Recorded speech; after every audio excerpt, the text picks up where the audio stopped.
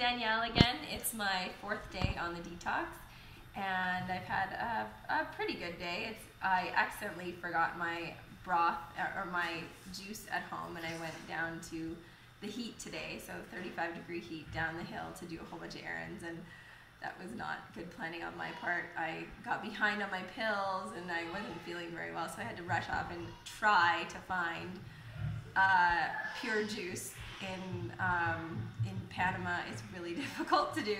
Anyways, I had four big juices of uh, orange juice, so that tided me over till I got home.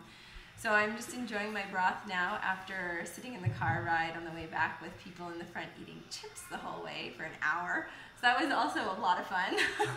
Anyways, um, I'm really excited that I'm over my halfway point and I only have three days left. So the end is in sight because I really miss eating. I'm having my, my broth tonight, which is very satisfying again.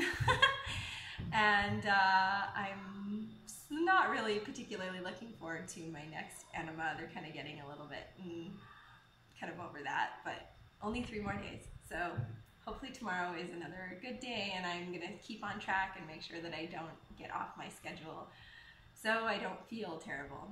So anyways, I'll check in with you tomorrow. Bye.